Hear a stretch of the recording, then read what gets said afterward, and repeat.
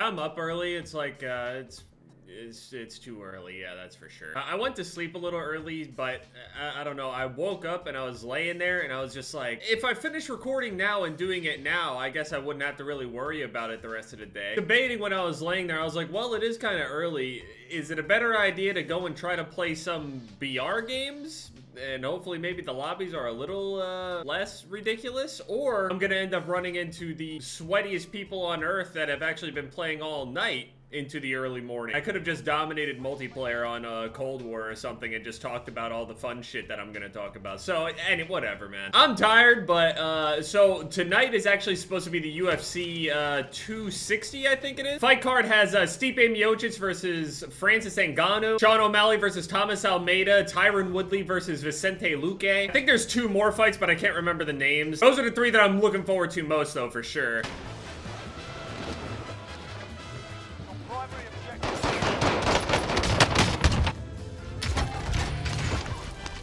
Got 21k. That room was filled with shit. I'm gonna go get my loadout real quick.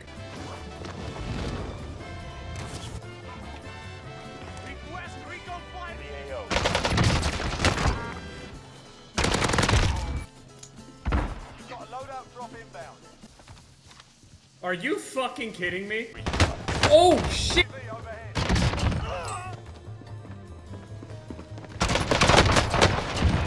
Do any of them go to the tippy tippy top? I'll uh, run around the building, I guess, until hopefully I could get to the top. This is not the way I planned for things to go, but it is what it is. I just dumped a bunch of UAVs so I can kill everybody that's here, but... Uh, yeah, so Stipe Miocic versus Francis. This fight has already happened before, and we've seen, uh, you know, how it goes. So, I mean, who really knows exactly uh, if it's gonna go any different at all? I would obviously hope that the fight would be a little bit different from, you know, how it was the first time, but yeah, I, I don't think Francis has improved enough. It's not that I don't think he hasn't improved at all. It's just like, yeah, he's gotten more experience by finishing four more people, but also at the same time, if you think about it like a character that you're like power leveling or something like that, you would think, I I'm not saying every fight needs to be hard or, you know, difficult, but how much experience can you really gain when your last four fights were all finished within two and a half minutes? Combined. Not just two and a half minute finishes on each and every single one of the people, it's two and a half minute finish combined. Honestly, the best course of action is just ride around in this Bertha while I talk. So anyway, I don't think that fight's gonna go any different. I think Stipe is just too good. He's gonna be able to defensively, you know, box him and everything. Now, given I'm wrong a lot of the time, I, I, I don't think my predictions are necessarily bad. They make sense.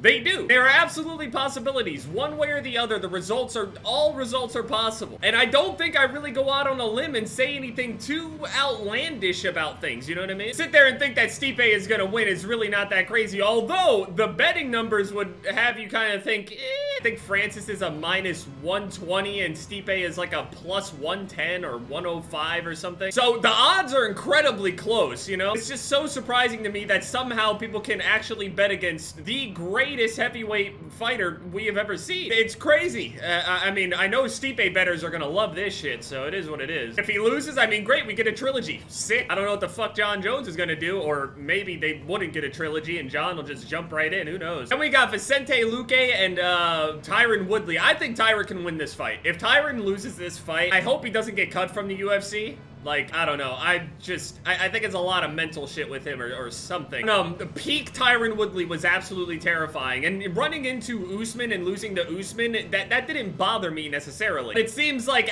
ever since that point, Tyron just, I mean, he's fighting killers, don't get me wrong, but he was fighting killers before that, and he was steamrolling people. It's not that he, I expect him to steamroll everybody, but, you know, to all of a sudden, after one loss, you know, start losing and losing and losing, it, you know, Makes you wonder. I think Tyron can win this fight, though, against Vicente. We got Sean O'Malley and Thomas Almeida. Thomas Almeida, I think, is on like a three or four fight skid at the moment.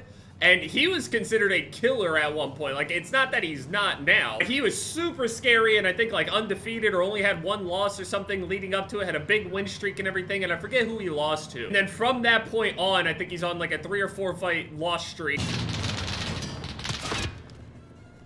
Not playing this game with you.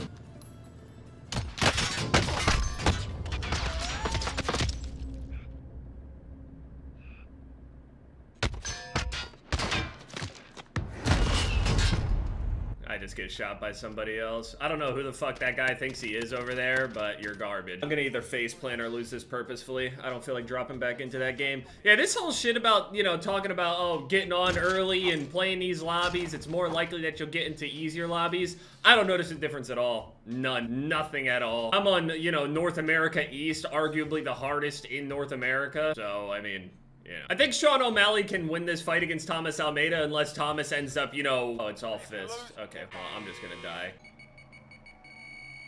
that uh, O'Malley gets a whole bunch of shit for like his mindset and the stuff that he says, like, oh, I don't feel like I lost to Chito and all this other shit. I know it sounds stupid or whatever, but if it's something that he needs to tell himself or, or, or what, it, it's not a big deal to me. It doesn't bother me. To the point that it bothers other people anyway. Like, some people really just, I, I don't know. People just constantly psychoanalyze the ever-living shit out of people, you know what I mean? And constantly, like, diagnose and say all sorts of shit about people, you know, that they observe all day on the internet. So I think O'Malley can win that fight, but it's entirely possible for him to lose to somebody like Thomas Almeida. Thomas is legit. He might be on a skid. We'll, we'll see, you know, how uh, O'Malley bounces back from his other loss. And also, there's a new sniper rifle that's supposed to be coming. This sniper rifle has been rumored for a while, uh, but we just now ended up actually seeing gameplay of it. I, I can't link it or anything like that, but uh, there was some gameplay that was going around of it.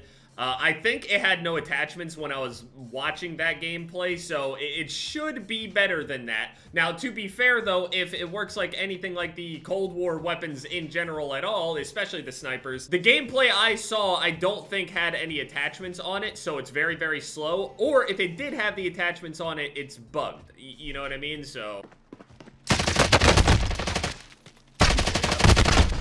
He just got killed by Walnut Jeans 58. He literally was just sitting in a brush. And this guy has over 200 levels of experience, and this is how he is playing. This means that he doesn't play any better than this at any other point.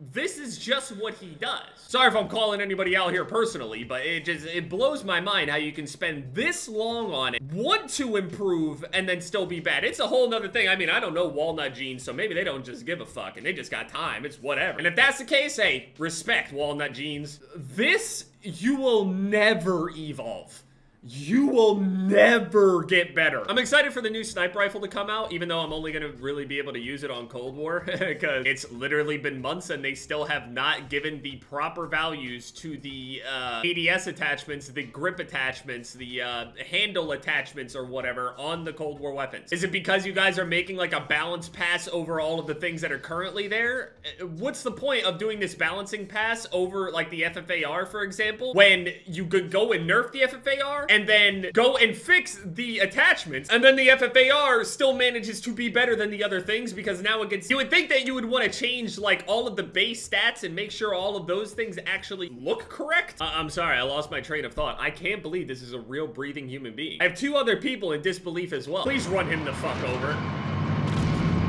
Yeah! Oh, he came back. It's the same dude. He drove back with the truck. He was there the entire time. He was able to drive back to the exact same location and kill the guy. The lobbies are easier, by the way.